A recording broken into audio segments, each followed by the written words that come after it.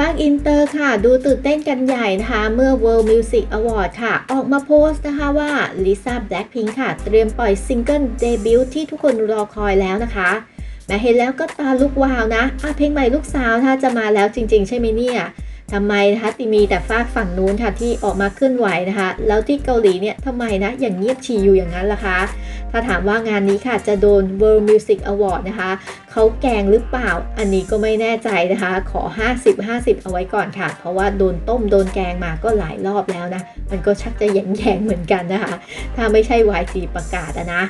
แม้ว่าจะพร้อมแหกโค้งนะคะ แต่ก็เผื่อใจไว้สักนิดหนึ่งแล้วกันค่ะ แต่ก็ใช่ว่าคราวนี้เนี่ยจะเหมือนหนก่อนๆนะคะ เพราะว่าครั้งนี้ค่ะ ผู้จัดการของ DJ Snake นะคะ นั่นก็คือคุณจูลี่ค่ะ เธอนะคะมากดติดตาม IG ของน้องลิซ่าแบล็คพิงของเราด้วยนะคะ ไม่รู้เหมือนกันค่ะว่ามันจะเกี่ยวกับงานคอร์เรนะคะที่ไปร่วมงานกันหรือเปล่านะคะ แต่ถึงยังไงก็ตามค่ะ มันก็เป็นสัญญาณที่ดีใช่ไหมล่ะ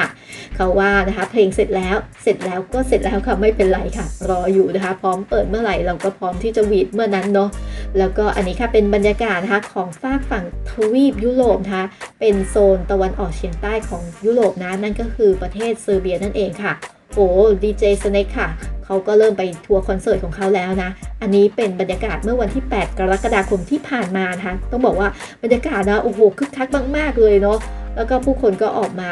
ดูคอนเสิร์ตกันแล้วค่ะแหมถ้ามีเพลงของน้องลิซ่าเนาะกับดีเจงูนะคะที่มี collab กันแล้วไปเปิดแบบนั้นเนี่ยคงจะดีไม่น้อยเลยค่ะแอดก็เอามาอัปเดตแล้วกันค่ะเป็นเรื่องราวที่เกิดขึ้นเมื่อคืนนี้นะคะที่